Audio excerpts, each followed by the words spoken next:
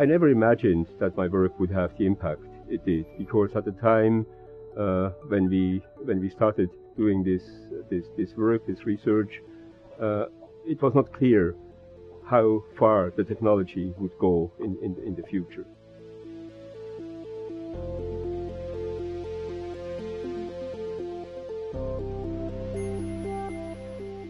Well, you know, I'm interested in how things work. This is my interest, uh, my basic interest, whether it is radios or something else.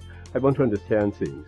And this was a strong motivation for me eventually to go to university. And, this was also uh, the reason why I decided to become a physicist. Because I thought, well, you know, as a physicist, I can, I can really better understand how nature works.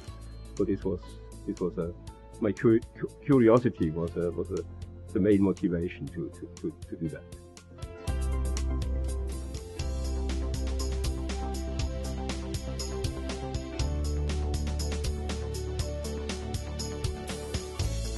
One reason was there were no liquid crystals available at that time, at that time which were uh, liquid crystalline at room temperature.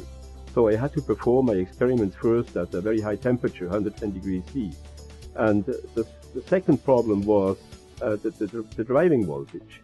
We expected a much higher driving voltage than what I eventually found in my experiments, about 20 times higher than we actually found.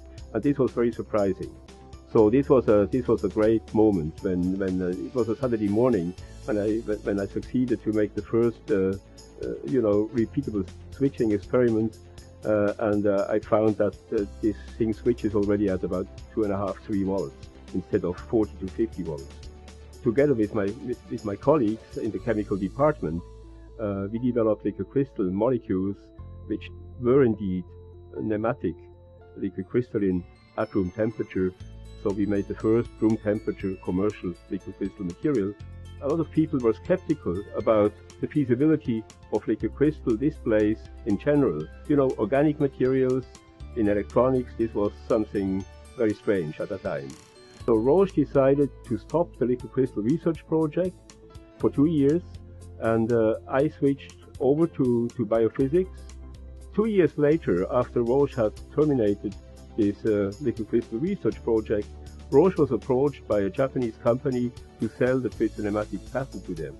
And then I was contacted by the head of the legal department asking me what this patent was about and whether Roche should, should, should sell it. And I said, no, I, I don't think you should sell this because this is much more broadly applicable than just for watches. The company was a watch company who was interested to buy the patent.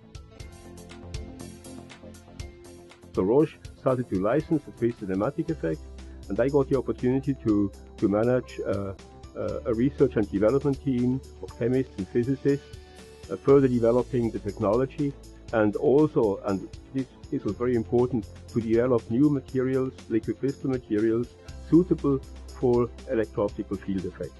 So Roche became a major player in the, in the liquid crystal material uh, field and also in licensing, of course, technology to the electronics industry, which then developed into an LCD industry.